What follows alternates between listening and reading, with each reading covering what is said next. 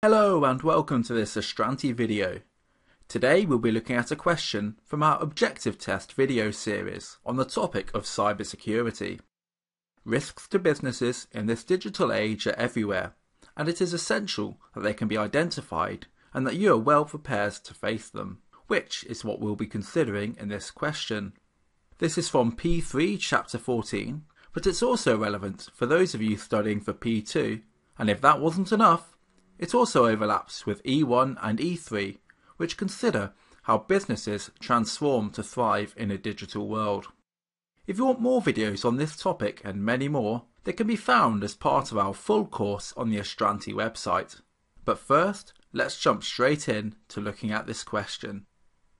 Let's now take a look at question 5, and for our fifth question, the syllabus reference is determine internal and external threats arising from malware and recommend defences. So Company G is a large manufacturing company. The company is working on a new project and its employees frequently email each other with documents concerning different aspects of the product. So based on this information, the question asks us to fill in the gaps in the following sentences. So we have a rogue employee placing USB drives containing malware labelled redundancy 20x0 around the office is an blank threat, internal or external. A suitable defence against this threat would be blank.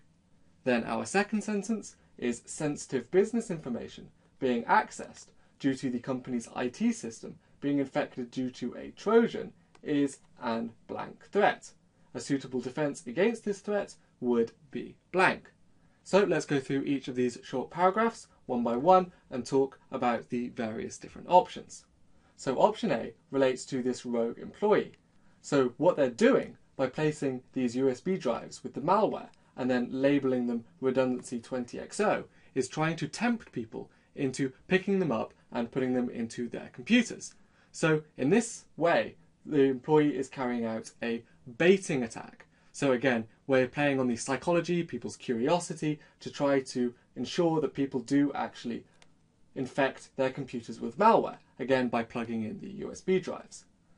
Now crucially, for the context of this question, this attack is being carried out by a rogue employee, somebody who's already in the organisation, somebody who's already a familiar face around the office, and therefore this constitutes an internal threat.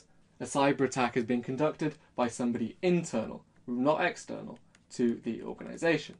So I'll just write internal in that blank. So what about a defense? What would be a suitable defense against this type of cyber attack? So our three options are using a spam filter, employee training, or blocking all downloads on company computers. Well, putting a USB drive into a computer isn't a type of download. We're not downloading anything from the internet. So this rules out this option. Additionally, what about using a spam filter?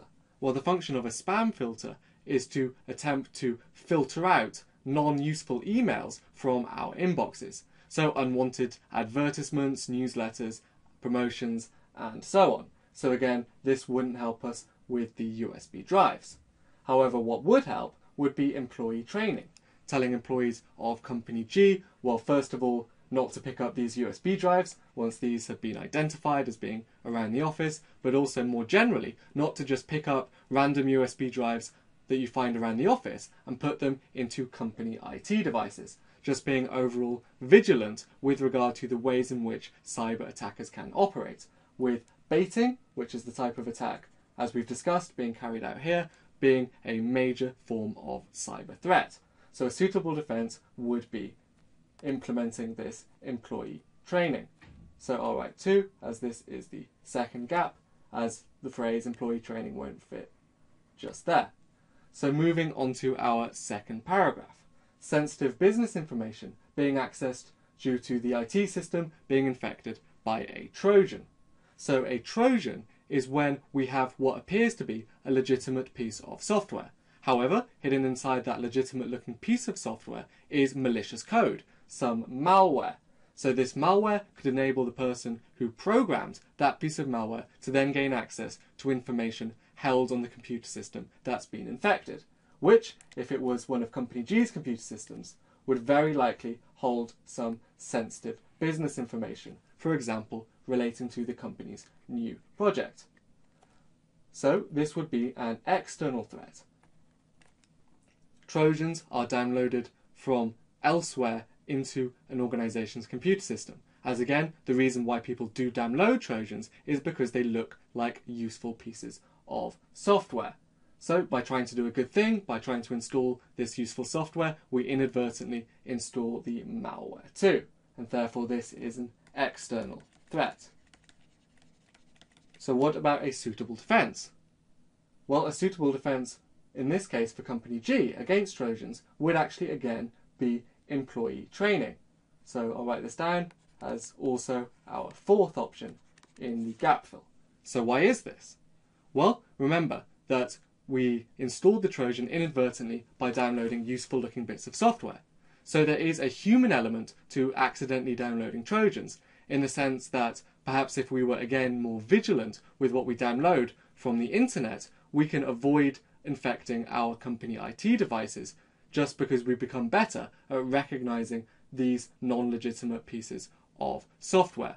Company G can inform its staff, it can train them to only download software from certain websites, certain trustworthy software vendors. So in contrast, the use of a spam filter again wouldn't help the company here. So again, filtering out promotional emails just wouldn't help with regards to Trojans. Further, blocking all downloads on company computers wouldn't be appropriate for Company G. We know that Company G's employees frequently email each other with documents concerning different aspects of the project, and this type of communication will be vital as that project proceeds and goes forward. So if we were to block all downloads on that company's computers, then we would no longer be able to download these documents, which would impede communication greatly. Therefore, employee training is the most appropriate measure of the options provided, and so these are our correct answers. So we're now at the end of this Astranti video. But there are more to be found on our website as part of our full course. On there you can also find mocks and revision notes to help you pass your exams. If you want to hear more from us, why not subscribe to one of our social media accounts? We can be found on Instagram, YouTube, Facebook and Twitter. Thanks for watching.